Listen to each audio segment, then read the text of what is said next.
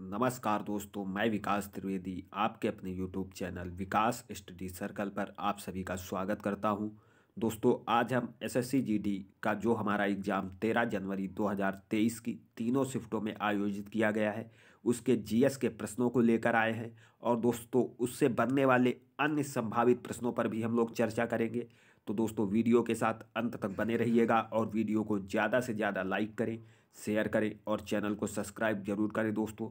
शुरू करते हैं आज के अपने पहले क्वेश्चन को।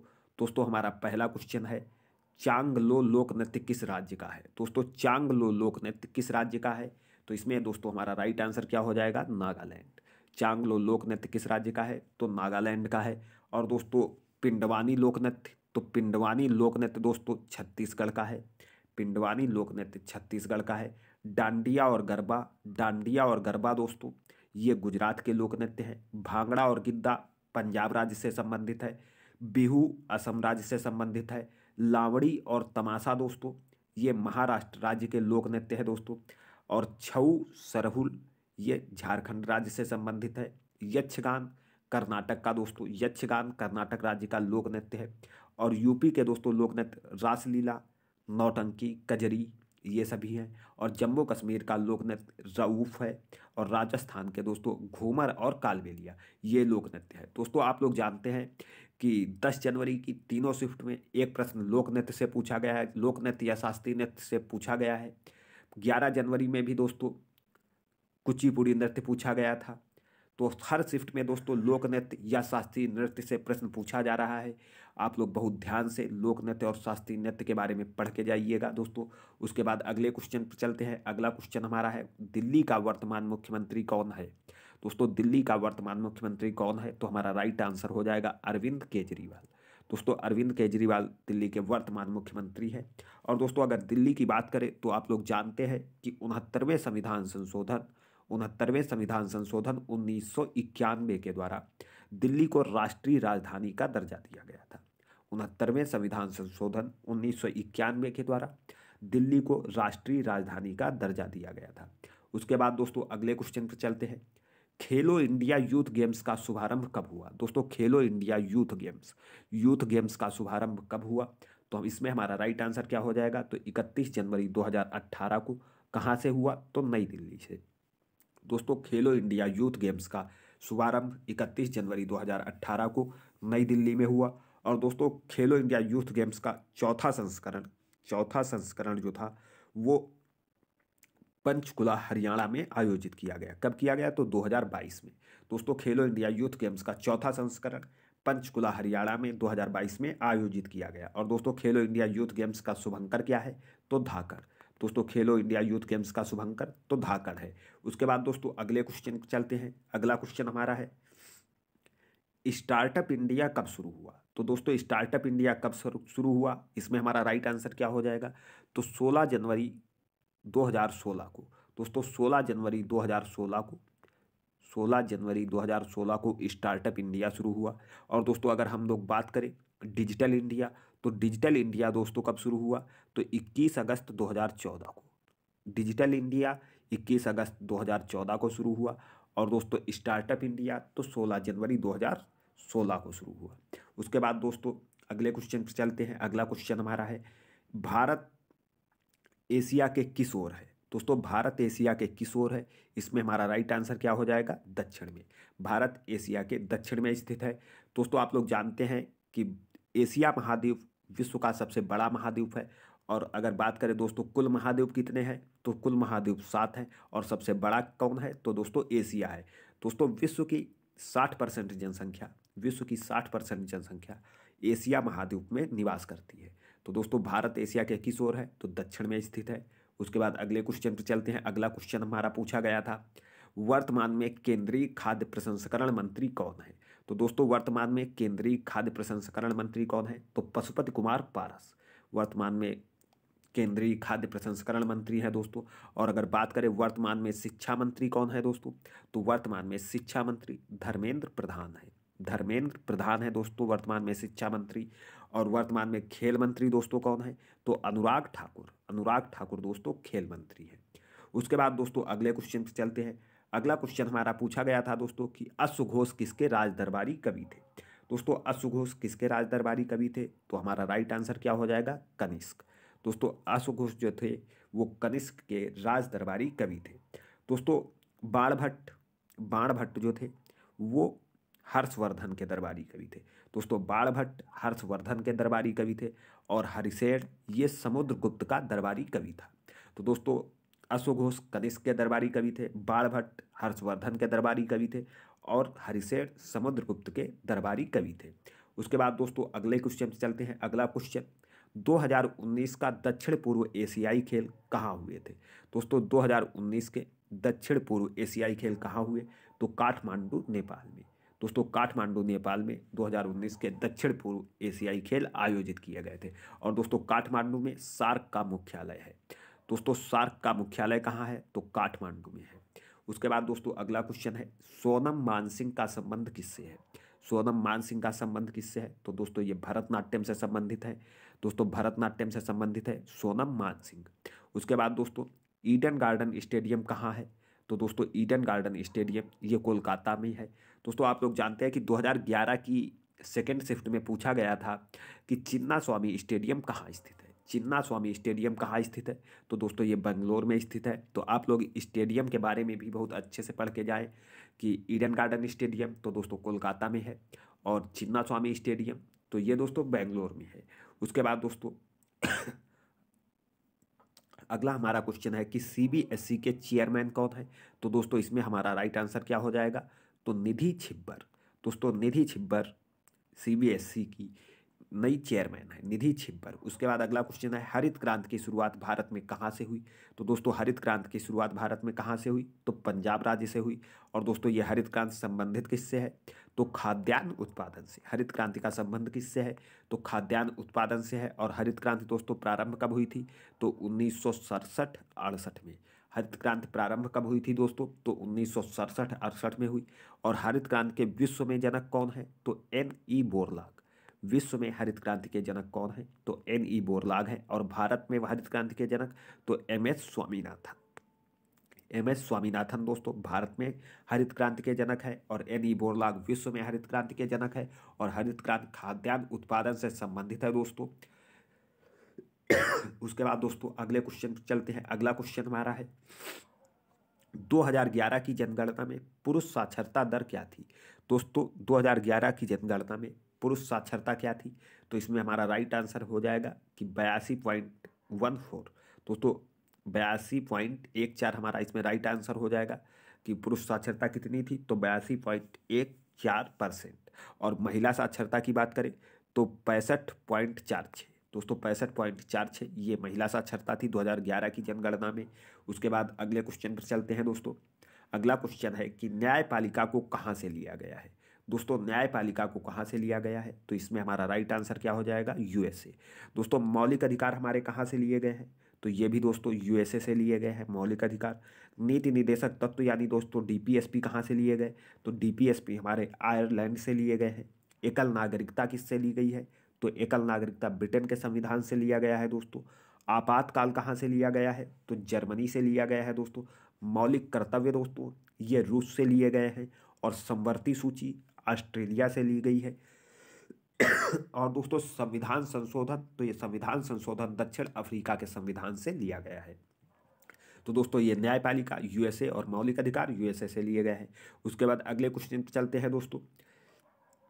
सेकर नाई फेस्टिवल कहाँ मनाया जाता है? दोस्तों, क्वेश्चन है कि सेकर नाई फेस्टिवल कहाँ मनाया जाता है? तो इसमें हमारा राइट आंसर क्या हो जाएगा? नागालैंड। दोस्तों, सेकर नाई फेस्टिवल कहाँ मनाया जाता है? तो नागालैंड राज्य में मनाया जाता है दोस्तों। उसके बाद हमारा अगला क्वेश्चन है, मौर्य वंश का अंतिम शासक कौन था? दोस्तों, मौर्य वंश का अंतिम शासक कौन था? तो इसमें हमारा राइट आंसर हो जाएगा दोस्तों, बृहद्रथ। मौर्य वंश का अंतिम शासक कौन था? तो बृहद्रथ था दोस्तों। और मौर्य वंश का संस्थापक कौन था? तो दोस्तों, चंद्रगुप्त मौर्य। चंद्रगुप्त मौर्य दोस्तों, मौर्य वंश का संस्थापक था और मौर्य वंश का अंतिम शासक कौन था? तो बृहद्रथ था। दोस्तों, कुषाण वंश का संस्थापक कौन था? तो कुजुल कुडफिसेस। दोस्तों, कुजुल कडफिसेस कुषाण वंश का संस्थापक था और दोस्तों, अंतिम शासक कुषाण वंश का कौन था? तो वासुदेव था। गुप्त वंश का दोस्तों, संस्थापक श्रीगुप्त था। और अंतिम शासक विष्णुगुप्त था। गुप्त वंश का संस्थापक श्रीगुप्त और अंतिम शासक विष्णुगुप्त था। दोस्तों, गुलाम वंश का संस्थापक कुतुबुद्दीन ऐबक था। गुलाम वंश का संस्थापक कुतुबुद्दीन ऐबक था और अंतिम शासक दोस्तों, समुद्दीन कैमुर्स था। समुद्दीन कैमुर्स दोस्तों, गुलाम वंश का अंतिम शासक था।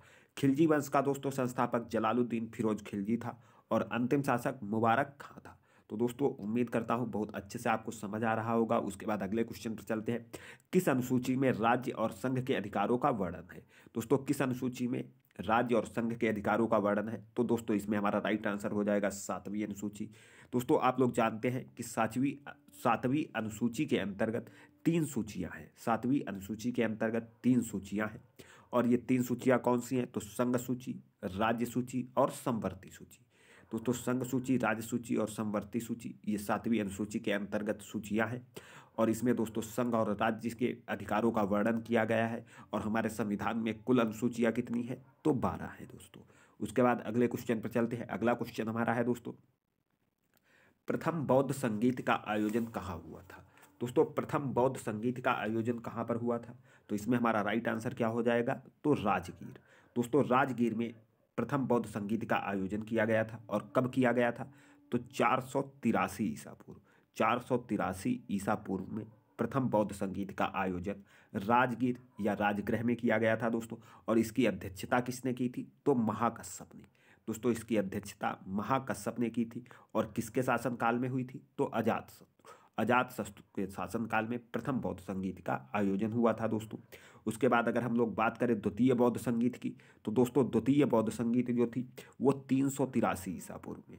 दोस्तों प्रथम बौद्ध संगीत चार सौ तिरासी ईसा पूर्व में, द्वितीय बौद्ध संगीत तीन सौ तिरासी ईसा पूर्व में और पहली दोस्तों ये राजगीर या राजगृह में हुई और ये दूसरी दोस्तों वैशाली में हुई, वैशाली में हुई। और दोस्तों पहली बौद्ध संगीत की अध्यक्षता महाकश्यप ने की थी और दूसरी बौद्ध संगीत की अध्यक्षता साबा कामी ने की। और प्रथम बौद्ध संगीत दोस्तों अजात शत्रु के शासनकाल में हुई थी। द्वितीय बौद्ध संगीत काला शोक के शासनकाल में हुई। काला शोक के शासनकाल में दोस्तों तीन सौ तिरासी ईसा पूर्व में साबा काबी की अध्यक्षता में वैशाली में द्वितीय बौद्ध संगीत का आयोजन किया गया। उसके बाद दोस्तों तृतीय बौद्ध संगीत तो तृतीय बौद्ध संगीत दो सौ पचपन ईसा पूर्व में दो सौ पचपन ईसा पूर्व में दोस्तों पाटलिपुत्र में आयोजित की गई और किसके शासनकाल में? तो अशोक के।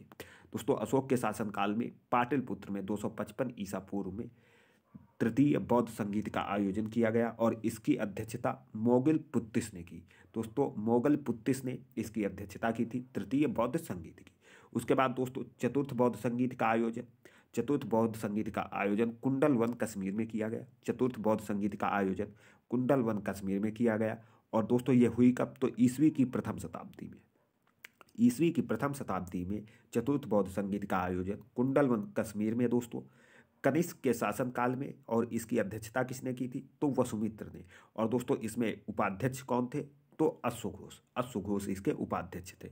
बहुत ध्यान से, दोस्तों, चारों बौद्ध संगीतियों को पढ़ के जाना, क्योंकि इस शिफ्ट में प्रथम बौद्ध संगीत के बारे में पूछा गया है। अगली आने वाली शिफ्टों में अन्य बौद्ध संगीतियों के बारे में भी पूछा जा सकता है। उसके बाद अगले क्वेश्चन पर चलते हैं। भारतीय ओलंपिक संघ कब शुरू हुआ? तो दोस्तों, भारतीय ओलंपिक संघ कब शुरू हुआ? इसमें हमारा राइट आंसर क्या हो जाएगा? तो दोस्तों, भारतीय ओलंपिक संघ जो हमारा है, वो 1924 में, दोस्तों, ये 1924 में शुरू हुआ था और इसके प्रथम अध्यक्ष कौन थे? तो sir, J J G Tata Tata, दोस्तों, जे जे टाटा। इसके दोस्तों प्रथम अध्यक्ष सर जे जे टाटा थे। भारतीय ओलंपिक संघ कब शुरू हुआ? तो 1924 में। उसके बाद दोस्तों अगले क्वेश्चन पर चलते हैं। 1950 में लागू होते समय क्या शामिल नहीं हुआ था? दोस्तों 1950 में संविधान लागू होते समय इसमें क्या शामिल नहीं था? तो मौलिक कर्तव्य दोस्तों शामिल नहीं थे। आप लोग जानते हैं दोस्तों कि बयालीसवें संविधान संशोधन 1976 के द्वारा सरदार स्वर्ण सिंह समिति की सिफारिश पर मौलिक कर्तव्यों को भारतीय संविधान में जोड़ा गया था। दोस्तों, कब? तो बयालीसवें संविधान संशोधन, बयालीसवें संविधान संशोधन 1976 के द्वारा सरदार स्वर्ण सिंह समिति, सरदार स्वर्ण सिंह समिति की सिफारिश पर भारतीय संविधान में दस मौलिक कर्तव्यों को जोड़ा गया। दोस्तों, आप लोग जानते हैं कि वर्तमान में ग्यारह मौलिक कर्तव्य हैं। वर्तमान में ग्यारह है, लेकिन दोस्तों, बयालीसवें संविधान संशोधन के द्वारा दस मौलिक कर्तव्यों को जोड़ा गया था। और ये दोस्तों, मौलिक कर्तव्य लिए कहाँ से गए हैं? तो रूस से। मौलिक कर्तव्य रूस से लिए गए हैं। उसके बाद अगले क्वेश्चन पर चलते हैं। अगला क्वेश्चन दोस्तों, कूद नृत्य कहाँ का लोक नृत्य है? दोस्तों, कूद नृत्य कहाँ का लोक नृत्य है? तो जम्मू कश्मीर का लोक नृत्य है। दोस्तों, अभी अपने आप को एक और जम्मू कश्मीर का लोक नृत्य बताया था। तो रऊफ रऊफ लोक नृत्य, दोस्तों, कहाँ का है? तो ये भी जम्मू कश्मीर का है। उसके बाद, दोस्तों, खाना पकाना कौन सा परिवर्तन है? खाना पकाना कौन सा परिवर्तन कहलाता है? तो ये रासायनिक परिवर्तन है, दोस्तों। खाना पकाना कौन सा परिवर्तन है? तो रासायनिक परिवर्तन है। उसके बाद दोस्तों अगला है कि सुप्रीम कोर्ट की स्थापना कब की गई थी? दोस्तों सुप्रीम कोर्ट की स्थापना कब की गई? तो एक अक्टूबर उन्नीस सौ सैंतीस में सुप्रीम कोर्ट की स्थापना की गई थी। और अगर दोस्तों बात करें सुप्रीम कोर्ट की तो अनुच्छेद 124 में सुप्रीम कोर्ट के गठन संबंधी प्रावधानों का उल्लेख किया गया है। अनुच्छेद 124 में सुप्रीम कोर्ट के गठन से संबंधित प्रावधानों का उल्लेख किया गया है और इसकी स्थापना एक अक्टूबर उन्नीस सौ सैंतीस को हुई थी। उसके बाद दोस्तों, अगला क्वेश्चन हमारा है कि भारत में माइक्रो फाइनेंस किसके द्वारा नियंत्रित किया जाता है? दोस्तों, भारत में माइक्रो फाइनेंस किसके द्वारा नियंत्रित किया जाता है? तो आरबीआई के द्वारा दोस्तों नियंत्रित किया जाता है। और आरबीआई दोस्तों आरबीआई की स्थापना कब हुई थी? तो आप लोग जानते हैं दोस्तों आरबीआई की स्थापना एक अप्रैल 1935 को। दोस्तों, आरबीआई की स्थापना एक अप्रैल 1935 को की गई थी। उसके बाद दोस्तों, अगला क्वेश्चन हमारा है। दोस्तों, यही क्वेश्चन फिर से रिपीट हो गया है कि वर्तमान में सीबीएसई के अध्यक्ष कौन है? तो निधि छिब्बर। वर्तमान में सीबीएसई के अध्यक्ष कौन है? तो निधि छिब्बर है दोस्तों। उसके बाद अगला क्वेश्चन हमारा है कि राष्ट्रीय आय कैसे ज्ञात की जाती है? दोस्तों, राष्ट्रीय आय कैसे ज्ञात की जाती है? तो दोस्तों, आपको बता दें कि सकल राष्ट्रीय आय में दोस्तों, सकल राष्ट्रीय आय में सकल राष्ट्रीय आय में ह्रास को जब घटा दिया जाता है, ह्रास को जब घटा दिया जाता है तो एन एन आई प्राप्त होता है। एन एन आई प्राप्त हो जाता है और इसे ही दोस्तों राष्ट्रीय आय कहा जाता है। तो दोस्तों सकल राष्ट्रीय आय में जब ह्रास को घटा दिया जाता है तो एन एन आई ज्ञात हो जाता है और एन एन आई को ही हम लोग राष्ट्रीय आय कहते हैं। उसके बाद दोस्तों अगला क्वेश्चन हमारा है कि सोडियम धातु किसमें रखा जाता है? तो दोस्तों, सोडियम धातु किसमें रखा जाता है? तो कैरोसिन में रखा जाता है दोस्तों, सोडियम धातु को। उसके बाद हमारा अगला क्वेश्चन है आईपीएल 2023 में सबसे महँगा खिलाड़ी किस टीम ने खरीदा? दोस्तों, किस टीम ने सबसे महँगा खिलाड़ी आईपीएल 2023 का खरीदा? तो हमारा राइट आंसर क्या हो जाएगा? पंजाब किंग्स ने। दोस्तों, पंजाब किंग्स ने आईपीएल 2023 में सबसे महँगा खिलाड़ी खरीदा। और किसे खरीदा? तो दोस्तों, सैम करन। दोस्तों, सैम करन को पंजाब किंग्स ने दोस्तों साढ़े अट्ठारह करोड़ में दोस्तों खरीदा और ये दोस्तों आईपीएल 2023 के सबसे महँगे खिलाड़ी हैं दोस्तों। और ये किस देश के हैं सैम करन तो दोस्तों ये इंग्लैंड। इंग्लैंड के हैं दोस्तों सैम करन उसके बाद अगले क्वेश्चन पर चलते हैं। अगला क्वेश्चन हमारा है कि अनुच्छेद छिहत्तर संबंधित है। तो दोस्तों ये अनुच्छेद छिहत्तर किससे संबंधित है? तो महान्यायवादी से संबंधित है दोस्तों। और ये महान्यायवादी क्या होता है दोस्तों? तो भारत सरकार का प्रथम विधि अधिकारी।